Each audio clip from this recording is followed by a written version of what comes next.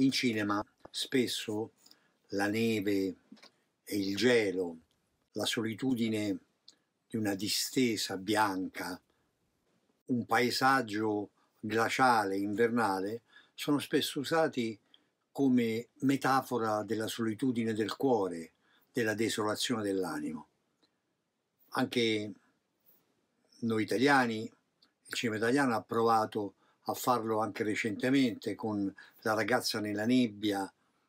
o anche con I figli della notte, ma senza ottenere i risultati che dovrebbero essere, senza, sono rimasti sempre un po' didascalici, cioè questa metafora ha funzionato solo come cornice, non è entrata nell'emozione, nell'animo dei personaggi, non è entrata davvero nel cuore degli spettatori come diceva un personaggio di Fargo, il famoso film dei fratelli Cohen, che si svolge appunto in una distesa ghiacciata, in un paesaggio invernale, molte cose sorprendenti possono accadere nel nulla, nel bianco nulla oserei dire io. E nel film di cui parlo oggi, che si intitola I segreti di Wind River, di Taylor Sheridan, questo gelo, questa desolazione del cuore invece affiora completamente, affiora in maniera convincente, come una morsa fredda che ti stringa davvero l'anima. Taylor Sheridan è innanzitutto un attore ed è qualcuno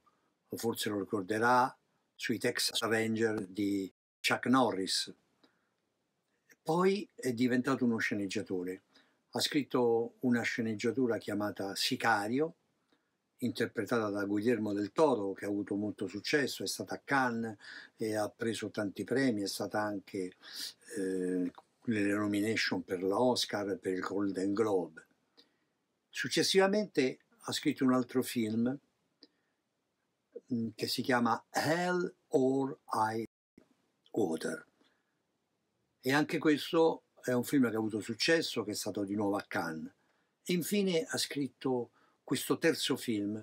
Sono tre film che, sono, che lui definisce una trilogia della frontiera, cioè un nuovo modo per arrivare a un western moderno, a un western contemporaneo, gli spazi deserti, le solitudini dell'America, che sono solitudini del cuore, come ho detto prima, sia con il gelo sia senza gelo, cioè che sono dei luoghi estremi del mondo, dove i sentimenti sono estremi, dove le cose che accadono sono estremi. L'intelligenza di questo autore è di collocare in questi luoghi così estremi non solo un'estremità di sentimenti, ma immetterci dentro un'azione, un thriller, una forza emotiva che mette in moto la storia e che conferisce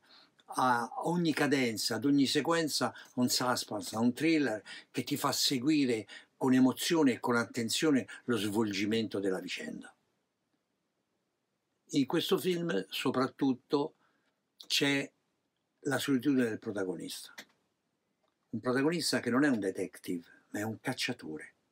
E questa è una distinzione molto importante, perché mentre il detective consegna alla giustizia il colpevole, il, calciato, il cacciatore elimina il colpevole. Il cacciatore è colui che stana il predatore e lo elimina. Questa non voglio parlare oltre di questo film, della vicenda del film, però la cosa importante è che c'è all'interno della storia un contrasto tra la solitudine e il bisogno d'amore, tra la desolazione e la ricerca di tenerezza, tra lo smarrimento dei sentimenti e il bisogno disperato di averne. In questa cornice, avvolta, come ripeto, nel gelo di questa lontana regione americana, si svolge tutto e il ricordo